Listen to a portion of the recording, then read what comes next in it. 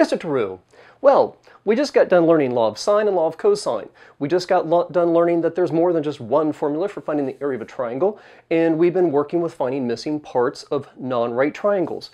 We're going to bring some of those skills together in this interesting question. Uh, it's in two parts. You'll find the, the timestamps in the description to jump ahead to, say, part B if you so desire. You'll also find a link to um, a website where I have my lessons organized by subject and chapter with each, within each one of those subjects instead of uh, scrolling through playlists that are tens, if not hundreds of videos long. Okay, the length of two sides in a triangle are 5 centimeters and 2 centimeters.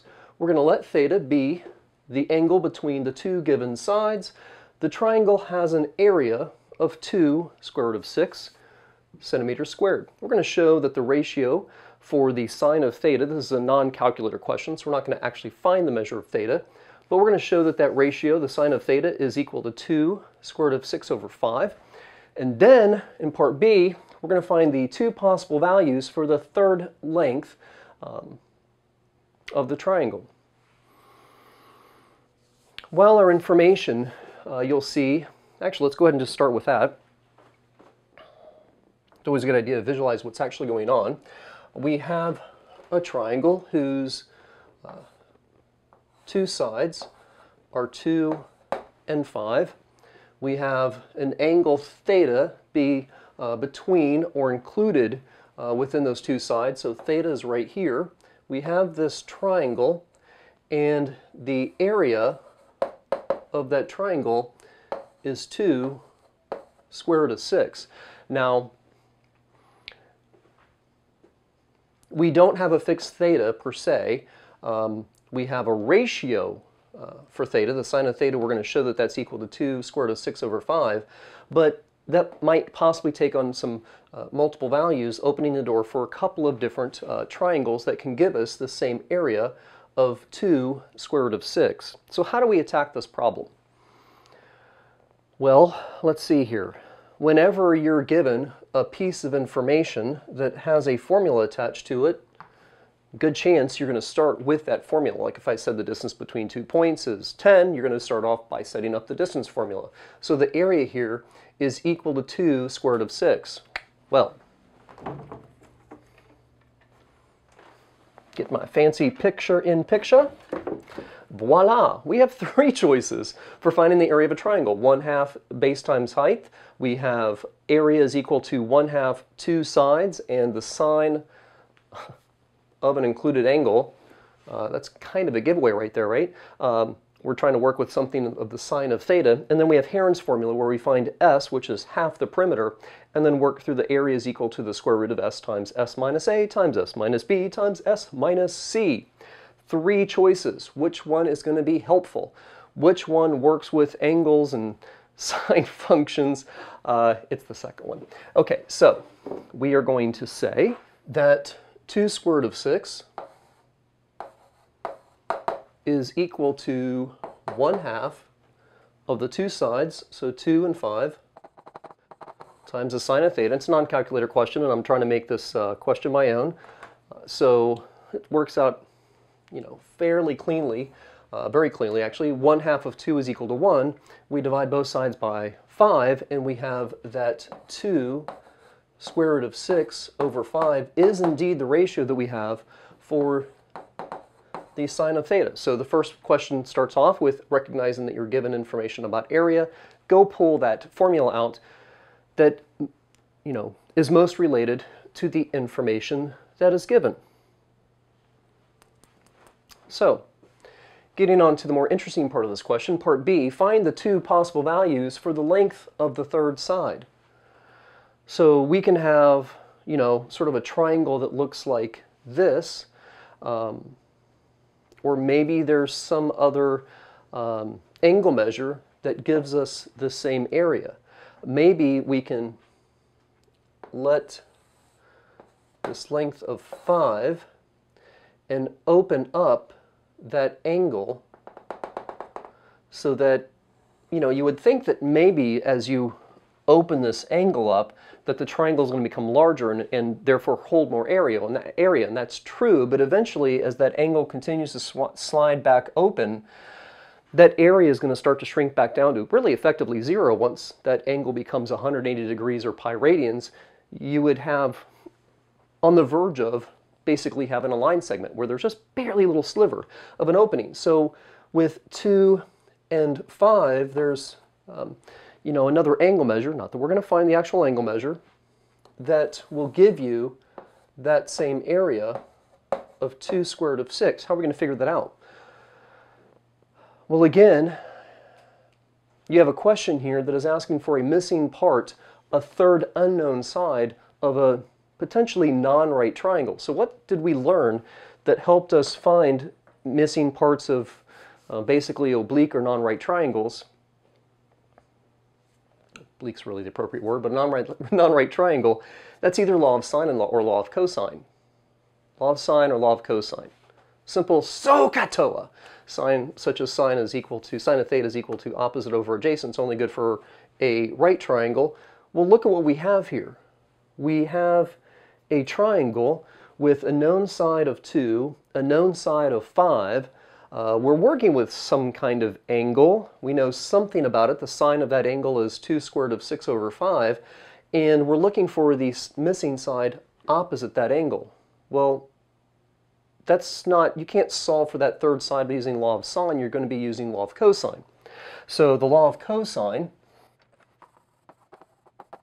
says that we have some side squared is equal to the other two sides squared and added together. Minus 2 times those other two sides basically times the cosine of the angle that's opposite that unknown side that you're trying to solve, or maybe you know the opposite side and you're looking for the angle measure,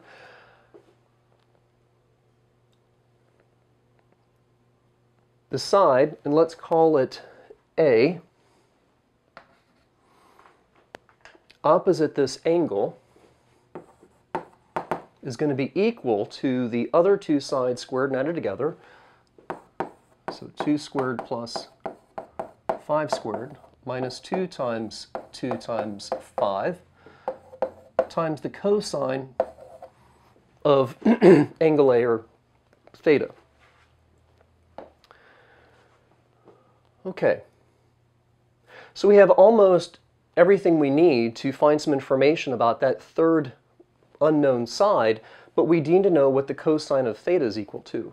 We know what the sine of theta is. How are we going to use that to find the possible uh, ratios for the cosine of theta? What identity allows you to link those two together? You can draw a diagram, which actually I prefer to do for many, many, many of my questions um, in trigonometry, but you also have that Pythagorean, that, those Pythagorean identities. Sine squared theta plus cosine squared theta equals 1. 1 plus um, tangent squared theta is equal to secant squared theta, and 1 plus cosecant, or cotangent squared theta is equal to cosecant of theta. So we are going to be using the fact that we have um, our Pythagorean identity saying that sine squared theta plus cosine squared theta is equal to 1. Sine of theta is 2 square root of 6 over 5 squared.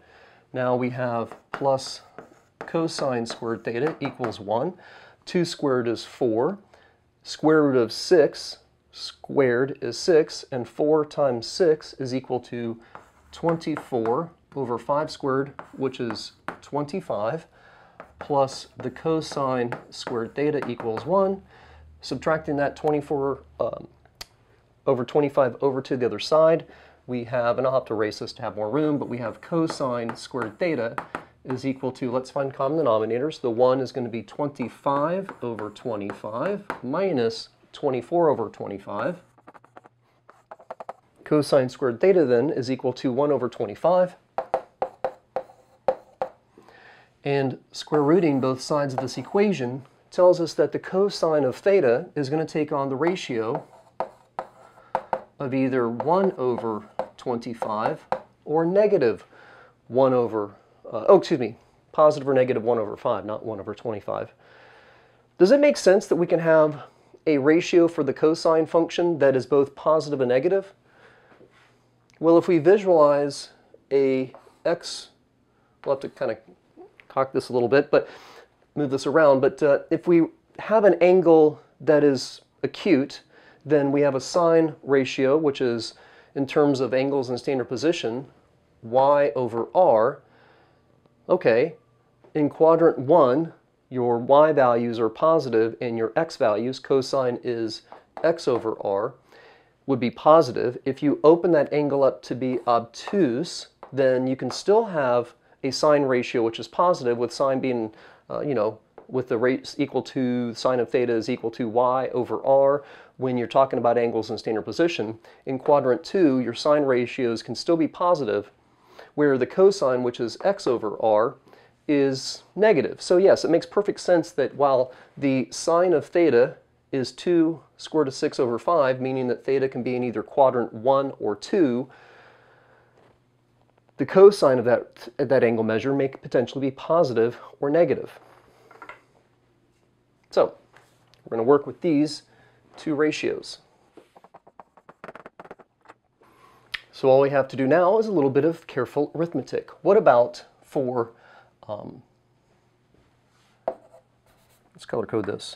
How about for cosine of theta being positive 1 fifth? Well, then we have a squared is equal to 4 plus 25, 2 squared and 5 squared, minus 2 times 2 is 4, times 5 is 20, so minus 20. And then we're going to let the cosine of theta substitute that cosine of theta value in, substitute in that 1 fifth. We have a squared is equal to um, 4 minus 20 divided by 5 is 4, so 4 minus 4 is 0. We have a squared is 25. And therefore we have a is equal to 5.